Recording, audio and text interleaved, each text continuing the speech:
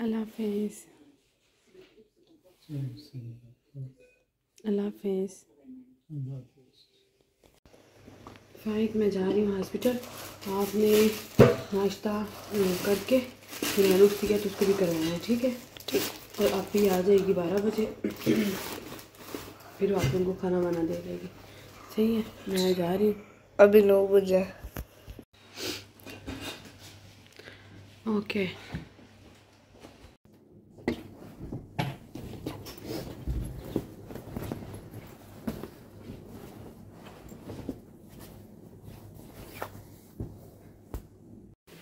अल्लाह हाफिज़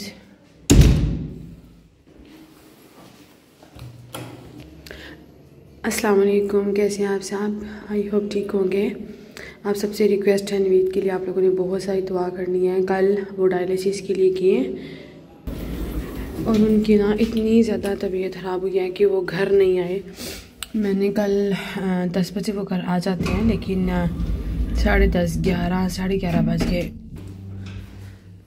आ नहीं थे इवन बारह बज गए तो मेरी एक इटली में फ्रेंड हैं, उनको भी मैंने कहा कि प्लीज़ आप हॉस्पिटल कॉल करें, लेकिन यहाँ पे वो फिर उनको इंग्लिश नहीं आती थी।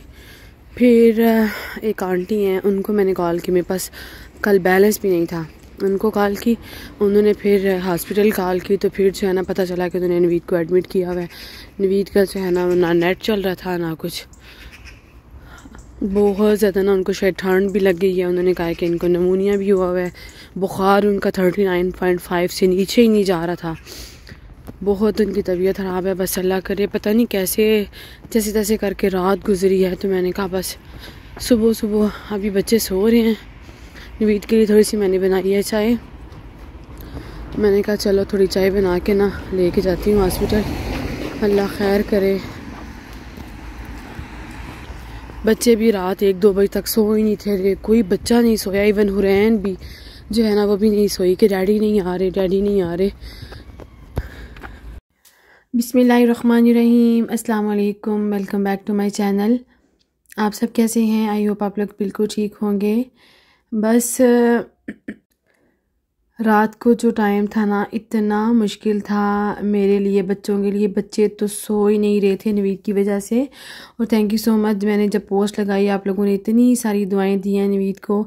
इसीलिए ना कभी कभी मैं दिल नहीं करता कि मैं आप लोगों को परेशान करूँ, लेकिन मैं जब ये सोचती हूँ ना कि इतने सारे लोग दुनिया में न जाने कहाँ कहाँ से हाथ उठाते हैं मेरे लिए, मेरी फैमिली के लिए स्पेशल नवीद के लिए तो फिर दिल करता है कि आप लोगों से ज़रूर शेयर करूँ, इतनी सारी दुआएँ समेटूँ।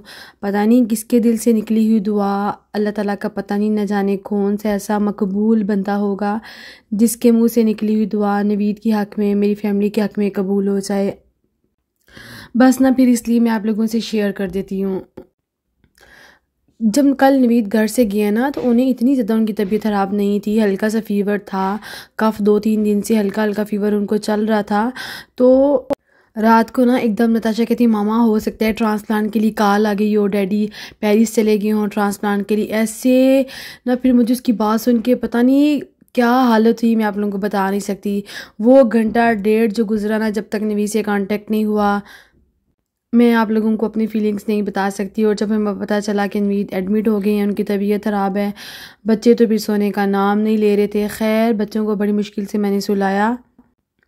जैसे तैसे करके ना रात गुजरी, सुबह हुई तो नवीद को मैंने कॉल की, उनकी थोड़ी सी तबीयत बेहतर थी तो मुझे कह रहे थे कि मैंने ना चाय थोड़ी सी पीनी है।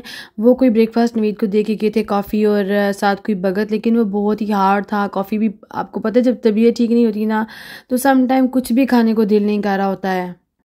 तो मैंने सोचा कि चलो मैं ना चाय बना के लेके जाती हूँ और साथ ब्रेड ले जाती हूँ, लेकिन नवीद ने मना कर दिया कि मैंने ब्रेड कुछ नहीं खानी, सिर्फ़ थोड़ी सी मैं चाय पीऊँगा।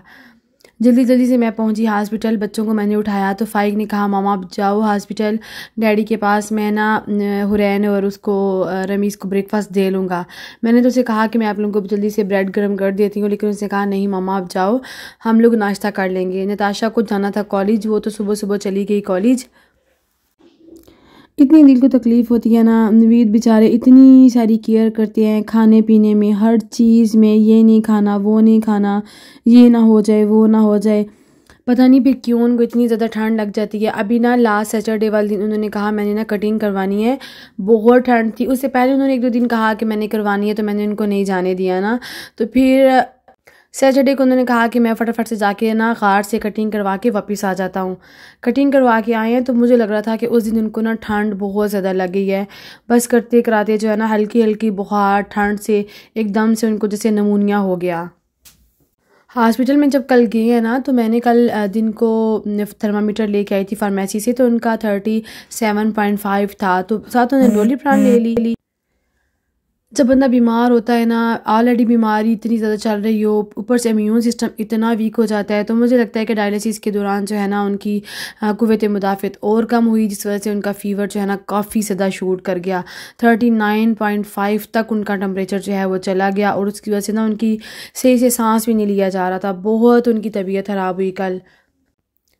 खैर, जैसे तैसे करके ना मैं पहुँची हॉस्पिटल तो मुझे ना काउंटर वाली कहती है कि आप हॉस्पिटल नहीं आ सकते, अंदर नहीं जा सकते अपने पेशेंट से मिलने क्योंकि वो एमरजेंसी वार्ड में है। तो मेरा तो और ज़्यादा दिल ऐसे बुझ गया, मैंने कहा, नहीं सी वो प्ले मुझे दस मिनट के लिए जाना है, मेरे हस्बैंड है, बच्चे मैं घर छोड़ के आई हूँ। तो मुझे कहती है, नहीं, मैं ना चले मैं अंदर से बात करके ना डॉक्टर से फिर आपको बताती हूँ। जब वो बाहर आई ना तो मुझे कहती है कि आप उनसे मिल सकते हैं, लेकिन अभी नहीं, एक बजे के बाद। और अभी तो वो बहुत ज़्यादा फतीगे हैं, बहुत थके हुए हैं, थोड़ा सा रेस्ट कर रहे हैं। खैर, फिर मैंने बाहर उनका थोड़ा वेट किया और फिर ना मुझे नवीद ने कॉल की। तो मैंने कहा, नहीं, आप अंदर जो नर्सें हैं ना, उनमें से किसी से रिक्वेस्ट करो कि मुझे दस मिनट के लिए अंदर आने दें। फिर जो अंदर स्टाफ थी ना, कोई उससे नवीद ने बात की तो उसने फिर बाहर आके मुझे कहा कि, वैसे तो अलाउ नहीं है, लेकिन तुम्हारा हस्बैंड जो है वो फोर्स कर रहा है तो तुम दस मिनट के लिए उनसे मिल सकती हो। सच में इतना ज़्यादा मेरा दिल दुखाना, वो मेरी वीडियो मैंने बनाई, लेकिन आप लोगों के साथ मेरा शेयर करने को दिल ही नहीं किया। ऐसे उनका जर्द पीला सा कलर ऐसे हुआ हुआ था उनका, और बहुत मेरा दिल दुखा, बहुत मेरा दिल दुखा कि एकदम से उनकी तबीयत जो है ना, वो क्या से क्या हो गई है। असल में जो पिछले तीन चार दिन गुजरे थे ना, उसमें उन्होंने खाना भी अच्छे से नहीं खाया था। बहुत थोड़ी सी रोटी, बहुत थोड़ा थोड़ा सा वो खा रहे थे। धक्के से मैंने उनको थोड़ी सी सेवैयाँ बना देनी, धक्के से जो है ना चाय के साथ एक ब्रेड दे देनी। तो उस वजह से जब बुखार हुआ ना तो उसने पकड़ के उनको बिल्कुल ही तोड़ के रख दिया। आप लोगों ने ना स्पेशल स्पेशल बहुत ज़्यादा दुआ करनी है। हर नमाज़ में दुआ करनी है। अपने बच्चों से भी दुआ करवानी है नवीद के लिए। अल्लाह करे जल्दी से वो ठीक हो जाएँ। समझ नहीं आती है कि अगली परेशानियाँ ख़त्म नहीं होती हैं, एक नई परेशानी सर उठा लेती है। मुझे पता है ना लास्ट वीक मुझे फ़ीवर था कफ़ थी और मेरी क्या हालत हुई हुई थी और मुझे ना, मेरे से उठा तक नहीं जा रहा था। मैं अपने आप को ज़बरदस्ती किसी काम करने के लिए मजबूर कर रही थी और मुझे ना कल से बार बार यही ख्याल आ रहा था। मैंने कहा उफ माई गॉड इतना उन्हें ऑलरेडी इतना ज़्यादा मसला है। डायलिसिस की वजह से इतनी वीकनेस है। ऊपर से उनको पता नहीं कहाँ से ये फ़ीवर आ गया है और अब ऊपर से नमूनिया। अल्लाह करे, जल्दी से जो है ना नवी ठीक हो जाएँ। और अभी फिर नर्स ने कहा है कि उनको एडमिट रहना पड़ेगा कुछ दिन। और जब तक उनकी तबीयत जो है ना मुकम्मल तौर पे ठीक नहीं हो जाती, वो हॉस्पिटल रहेंगे। बच्चे तो इतना ज़्यादा फोर्स करें अभी जब मैं उनसे मिल के हॉस्पिटल से वापस घर आई ना तो बच्चे इतना ज़्यादा फोर्स कर रहे थे कि नहीं, मामा, हमें भी शाम में जाना है डैडी से मिलने के लिए। तो मैंने उन्हें कहा कि नहीं नहीं, जो हॉस्पिटल है ना, उसमें बच्चों को नहीं जाने देते हैं। अल्लाह करे अल्लाह करे, जल्दी से नवीद का ट्रांसप्लांट हो जाए और वो दोबारा से जल्दी से रिकवर हो जाए। इतना वो वीक हो गया ना, सच में उनको कभी कभी देख के इतना दिल कुड़ता है, इतना दिल कुड़ता है ना। और जो पेशेंट होता है ना, वो हर तरह से हर चीज़ खा भी नहीं सकता है। दूध उन्होंने नहीं पीना है, जितने भी ये ड्राई फ्रूट्स हैं, वो नहीं खा सकते हैं। उसमें इतना ज़्यादा पोटाशियम होता है। यही वजह है ना कि जब पेशेंट होता है, फिर वो सब कुछ खा नहीं सकता और जो थोड़ा थोड़ा वो सा वो खाते हैं, वो आयरोज डायलिसिस होते हैं, इतना उनका ब्लड वेस्ट हो जाता है। तो कहाँ से उन्हें ताकत मिलनी है? अभी तो मैं कहती हूँ उनकी हिम्मत को सलाम है। इतने सारे सालों से वो इतने सब्र शुक्र के साथ ये तकलीफ़ को बर्दाश्त करते आ रहे हैं। कोई और होता तो पता नहीं कब का थक टूट चुका होता, लेकिन वो बच्चों को देख के ना इतना अपने आप को मज़बूत करते रहते हैं कि मुझे ठीक होना है, मुझे ठीक होना है। और इतनी सारी चीज़ें सम टाइम वो कहते हैं कि आप लोग, हम लोग पिज़्ज़ा खा रहे होते हैं, वो नहीं खा रहे होते। कोई ऐसी वैसी चीज़ हम लोग अगर खा रहे होते हैं तो वो बिल्कुल भी नहीं खाते हैं। इतना सारा परहेज़ करने के बावजूद अगर कभी भी कहीं थोड़ी बहुत कमी बेशी हो जाए तो फटाफट से उनकी तबीयत जो है ना, वो इफ़ेक्ट कर जाती है। सच में मैं कहती हूँ, सेहत है ना तो सब कुछ है। सेहत नहीं ना तो कुछ भी अच्छा नहीं लगता है। और मैं कहती हूँ कि सेहत की जो कदर है ना, वो एक बीमार से जाके पूछें कि उसके लिए मैं कहती हूँ दुनिया की सारी नेमतें, हर चीज़ एक तरफ़ है और सेहत एक तरफ़ है। और नवीद तो इस बीमारी के साथ इतना ज़्यादा बंध चुके हैं ना, एक दिन हॉस्पिटल, एक दिन घर, एक दिन हॉस्पिटल, एक दिन घर। हम लोग प्रेगनेंसी में कितना ज़्यादा डिस्टर्ब हो जाते हैं ना, कब हॉस्पिटल के चक्करों से जान छूटेगी, कब ये टाइम पीरियड गुजरेगा।